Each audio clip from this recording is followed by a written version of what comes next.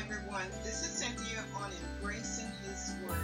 Well, I have, this is video number three. I have been discussing with you um, overcoming racism or dealing with racism.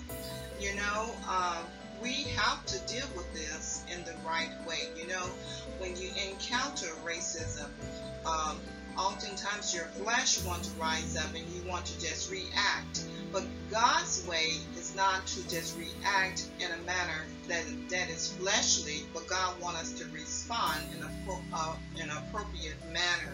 You know, Romans chapter 12, verse 19. So we're going to talk about some keys on how to overcome racism.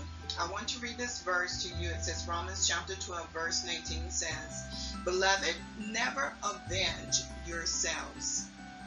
Leave the way open for God's wrath.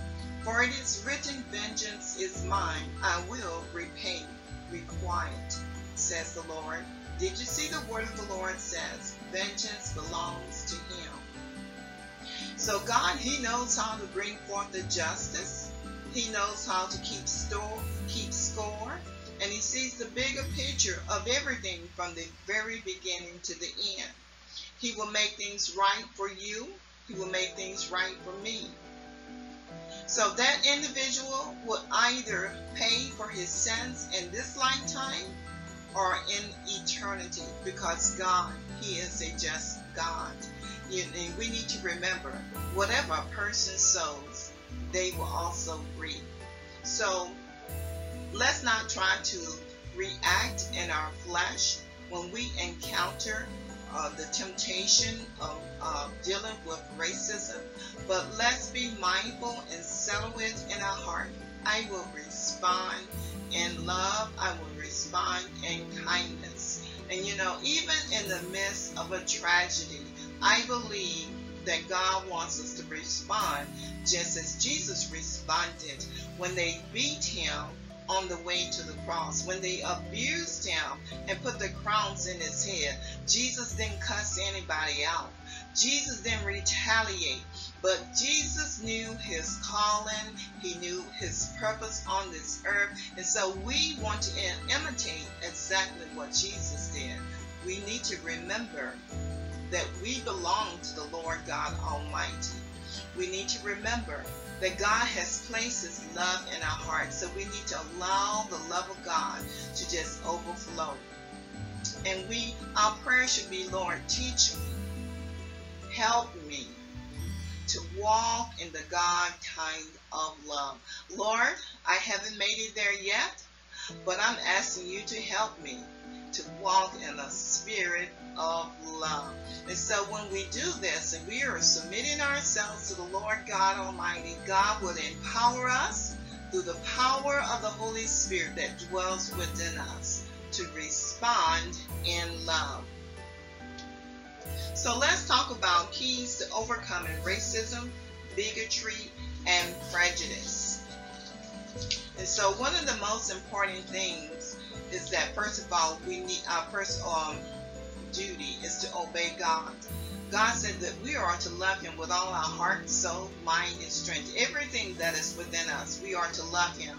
And so when we are able to to love God, in turn, we'll be able to love our neighbor. So if you don't have the love of God in your heart, you won't be able to demonstrate that genuineness of love and kindness and gentleness. So if you lack that love, a good prayer to start with is Lord, fill me up with your love, with your presence, with your gentleness, and with your kindness. Teach me, Lord, how to respond. So, number one, you want to resolve in your heart to respond in love and not react to racism. The scripture in James 1:19 says, My dear brothers and sisters, take note of this. Everyone should be quick to listen, slow to speak, and slow to become angry. Number two, deal with the anger and don't stop it.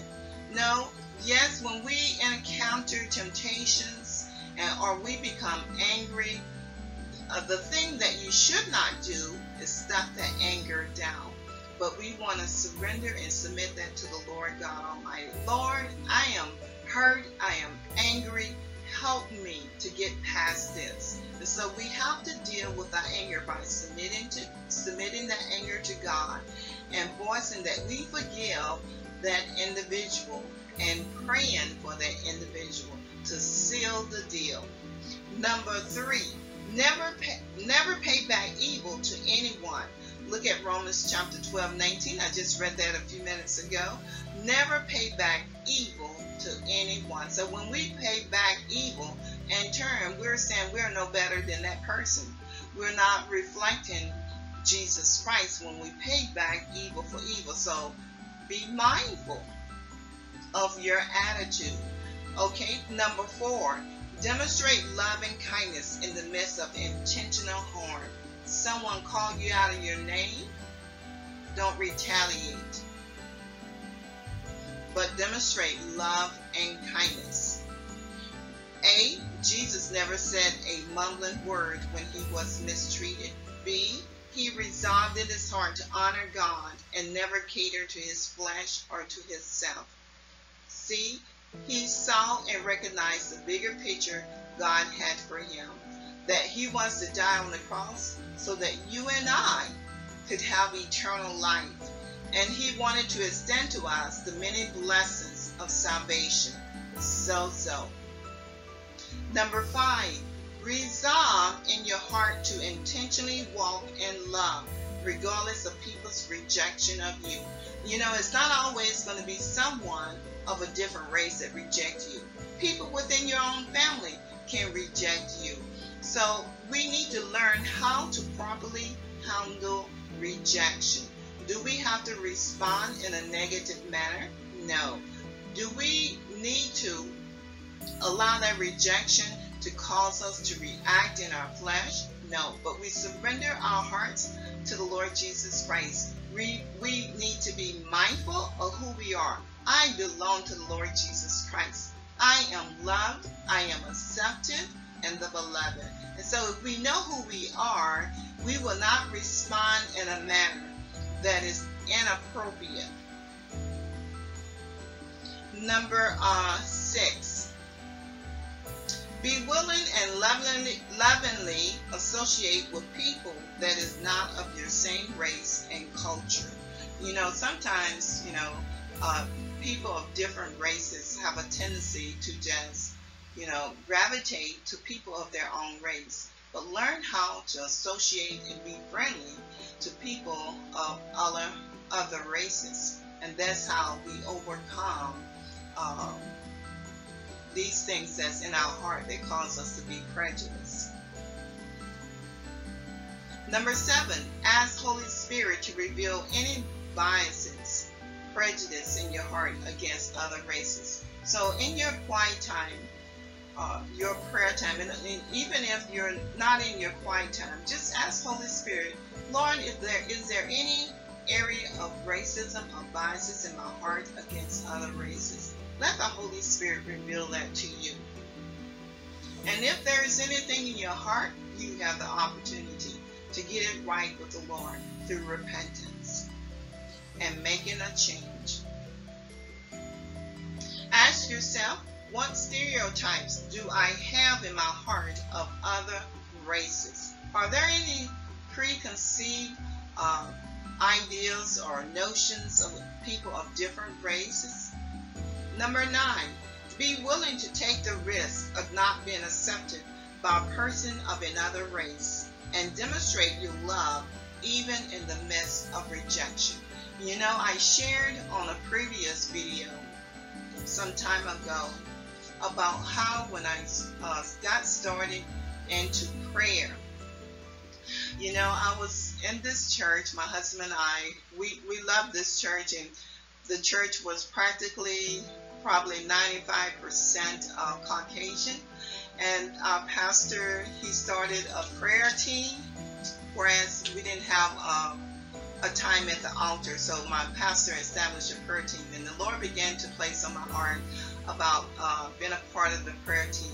And you know, I had never really prayed for people in the uh, public before, but that was an opportunity for me to grow and to allow God to just um, take me to a higher level in Him and go past my own pre- preconceived, preconceived ideas about how people may react toward me because of my own color. And so I passed through all of that. And the Lord, He just began to work, allow the Lord to work in my heart. When we started going up to the altar to pray and intercede uh, with people. Of course, there will be times that people would not want to come to me because of my skin color. So they preferred someone that was of their own skin color. You know, I had to learn how to take rejection in the proper manner. Allow God to still yet fill me with His love. You know, remember who I am in Christ Jesus and yet continue to be a blessing to other people, to those that desired to be prayed over, those that desire to come closer to the Lord.